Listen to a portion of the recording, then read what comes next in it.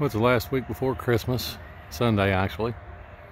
A couple of days before Christmas, and uh, thought I'd do a walkthrough and post this since I've done it every year.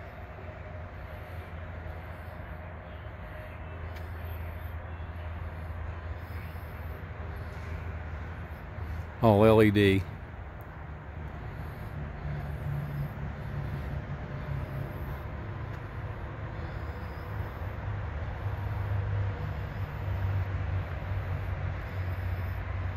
I could probably put up a few more, but I think we've got another thousand or so, but I don't know. I think it's busy enough the way it is.